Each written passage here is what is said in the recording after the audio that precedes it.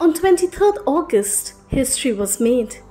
India's Chandrayaan 3 touched the lunar south pole, accomplishing the monumental at just $74 million. To put this in perspective, it's a fraction of the budgets of missions and even blockbuster films we've known. Russia's Luna 25, which met a tragic fate, cost nearly three times more, and NASA's Viper rover, nearly six times the price. The cost of Chandrayaan 3 was less than the cinematic masterpieces like Gravity, The Martian, and Interstellar. And let's not forget Bollywood's hit Adipurush.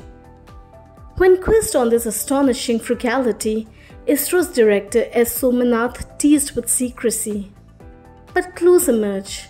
Chandrayaan 3's lightweight frame suggests thrift, as Robert Braun, a space exploration head, elucidated.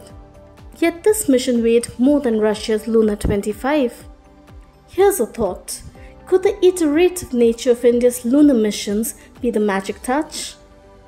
The shadow of Chandrayaan 2's crash in 2019 looms large, perhaps absorbing some of the financial burdens of its successor.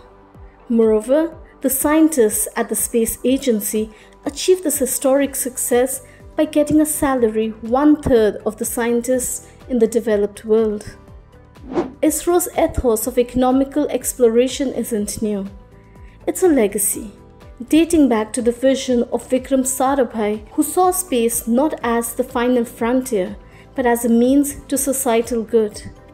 Rooted in humble beginnings, ISRO maximized magic from the minimal.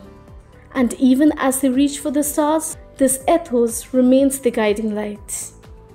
Some say that with more funds comes more knowledge.